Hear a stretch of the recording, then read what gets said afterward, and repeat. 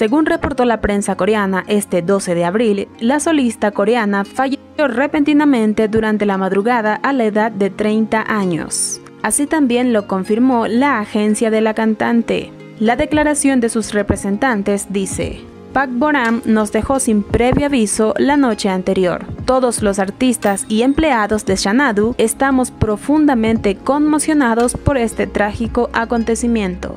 Adicionalmente, la agencia pidió respetar la privacidad de su familia y amigos en estos momentos de gran tristeza.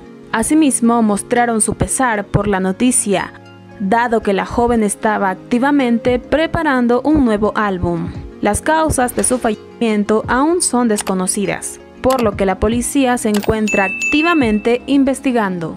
Pak Boram, nacida en marzo de 1994, ganó reconocimiento al aparecer en el programa de talento Superstar K2.